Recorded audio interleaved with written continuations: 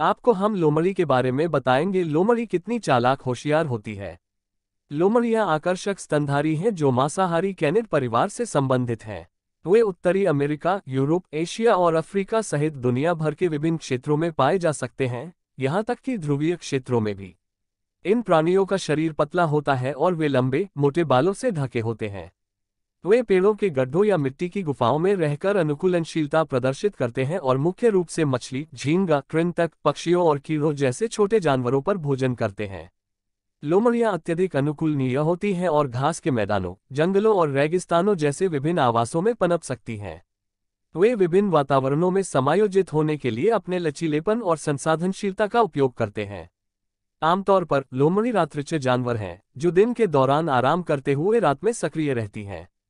हालाँकि लोमड़ियों को क्रूर मांसाहारी के रूप में वर्गीकृत किया गया है, उन्हें खाद्य श्रृंखला में प्राथमिक स्तर के शिकारी माना जाता है, क्योंकि कई बड़े मांसाहारी मौजूद हैं जो उनसे अधिक हैं।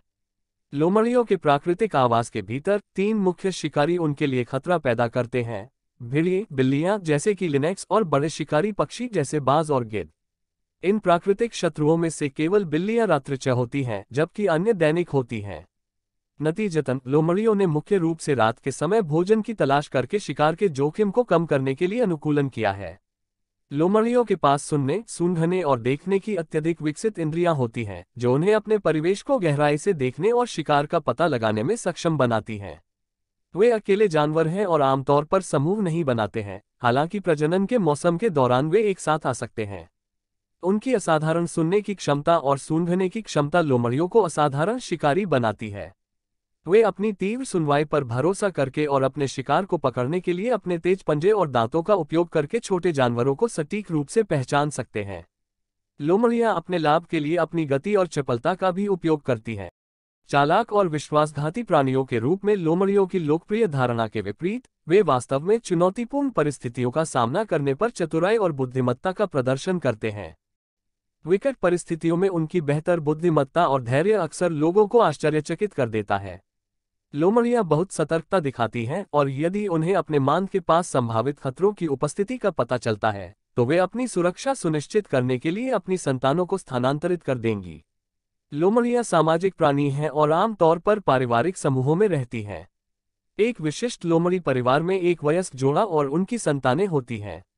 ये जानवर आमतौर पर एक पत्नी संबंधों में संलग्न होते हैं, अक्सर जीवन भर के लिए एक ही साथी के साथ संभोग करते हैं। एक बार जब पिल्ले पैदा हो जाते हैं तो माता पिता दोनों सक्रिय रूप से उनकी देखभाल में भाग लेते हैं जब तक कि वे स्वतंत्र नहीं हो जाते। लोमड़ियों के पास प्रभावशाली, घोंसला निर्माण कौशल होता है और वे अक्सर अपना मांद भूमिगत या पेड़ों की खोहों में बनाते हैं। इन मांदों में जटिल संरचनाएँ हैं, जिनमें कई मार्ग और कमरे शामिल हैं जो भोजन के लिए पर्याप्त रहने की जगह और भंडारण प्रदान करते हैं। लोमड़ियाँ लगन से अपने घोंसलों की देखभाल करती हैं, नियमित रूप से उनकी सफ़ाई करती हैं और आवश्यक मरम्मत करती हैं। गर्मियों और पतझड़ के दौरान, लोमड़ियाँ कठिन सर्दियों के महीनों की तैयारी के लिए वसा का भंडार जमा करती हैं। जैसे जैसे तापमान गिरता है, वे वज़न बढ़ाने और ऊर्जा संग्रहित करने के लिए अपने भोजन का सेवन बढ़ा देते हैं। कड़ाके की ठंड के दौरान, वे ऊर्जा बचाने और गर्म रहने के लिए अपनी गतिविधियों को सीमित कर देते हैं। लोमड़ियाँ उल्लेखनीय स्तनधारी हैं जिन्होंने विभिन्न प्रकार के वातावरणों के लिए खुद को अनुकूलित कर लिया है। उनके पास असाधारण शिकार क्षमता, बुद्धिमत्ता और परिवार और घोंसला निर्माण कौशल की उल्लेखनीय समझ है। इन गुणों को समझकर और उनकी सराहना करके हम इन उल्लेखनीय प्राणियों के प्रति गहरी प्रशंसा प्राप्त कर सकते हैं।